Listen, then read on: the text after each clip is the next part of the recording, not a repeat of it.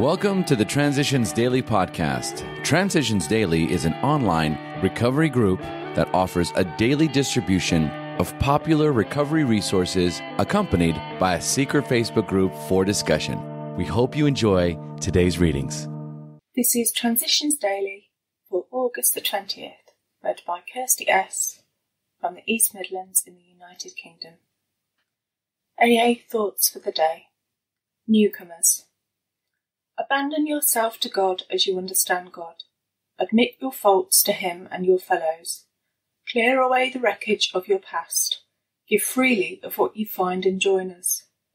We shall be with you in the fellowship of the Spirit, and you will surely meet some of us as you trudge the road of happy destiny. God bless you and keep you until then. Alcoholics Anonymous, page 164. Thought to consider Newcomers are the lifeblood of the programme, but our old-timers are the arteries. Acronyms ABC Acceptance, Belief, Change. Just for today, Impatient from Gutter Bravado. Still very impatient, I wanted the whole deal right away. That's why I related so well to the story about a wide-eyed new person and an old-timer. When the newcomer approached the old-timer, envying his accomplishments and many years of sobriety, the old-timer slapped down his hand like a gavel and said, I'll trade you even. My thirty years for your thirty days right now. He knew what the newcomer had yet to find out, that true happiness is found in the journey, not the destination. Alcoholics Anonymous, page 510, 511. Daily Reflections. Toward Emotional Freedom. Since defective relations with other human beings have nearly always been the immediate cause of our woes, including our alcoholism, no field of investigation could yield more satisfying and valuable rewards than this one. 12 Steps and 12 Traditions, page 80. Willingness is a peculiar thing for me in that, over a period of time, it seems to come first with awareness, but then with a feeling of discomfort, making me want to take some action. As I reflected on taking the eighth step, my willingness to make amends to others came as a desire for forgiveness of others and myself. I felt forgiveness toward others after I became aware of my part in the difficulties of relationships. I wanted to feel the peace and the serenity described in the promises. From working the first seven steps, I became aware of whom I had harmed and that I had been my own worst enemy. In order to restore my relationships with my fellow human beings, I knew I would have to change I wanted to learn to live in harmony with myself and others so that I could also live in emotional freedom. The beginning of the end to my isolation from my fellows and from God came when I wrote my eighth step list. As Bill sees it, the value of human will.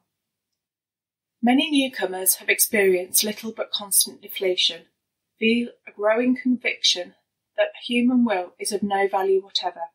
They have become persuaded, sometimes rightly so, that many problems beside alcohol will not yield to a headlong assault powered only by the individual's will. However, there are certain things which the individual alone can do. All by himself and in the light of his own circumstances, he needs to develop the quality of willingness. When he acquires willingness, he is the only one who can then make the decision to exert himself along spiritual lines. Trying to do this is actually an act of his own will. It is a right use of this faculty. Indeed, all of AA's 12 steps require our sustained and personal exertion to conform to their principles, and so we trust to God's will. 12 and 12, page 40. Big Book quote. Once more, the alcoholic at certain times has no effective mental defence against the first drink.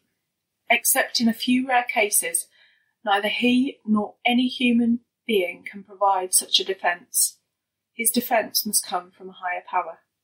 More about alcoholism, page 43. 24 hours a day. AA thought for the day.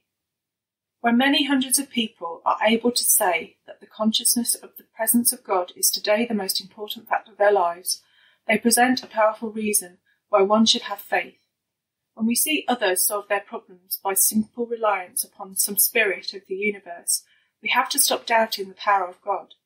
Our ideas did not work, but the God idea does. Deep down in every man, woman, and child is the fundamental idea of God.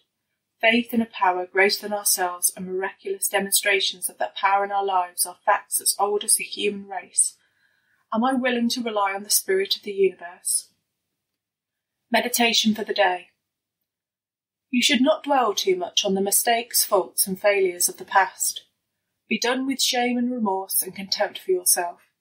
With God's help, develop a new self respect.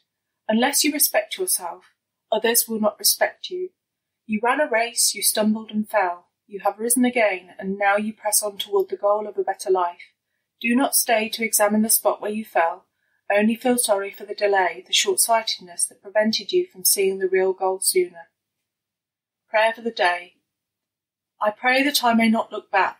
I pray that I may keep picking myself up and making a fresh start each day. Hazelden Foundation, PO Box 176, Centre City, MN55012. My name is Kirsty, and I'm an alcoholic. We hope you enjoy today's readings. You can also receive Transitions Daily via email and discuss today's readings in our secret Facebook group. So for more information, go to dailyaaemails.com today.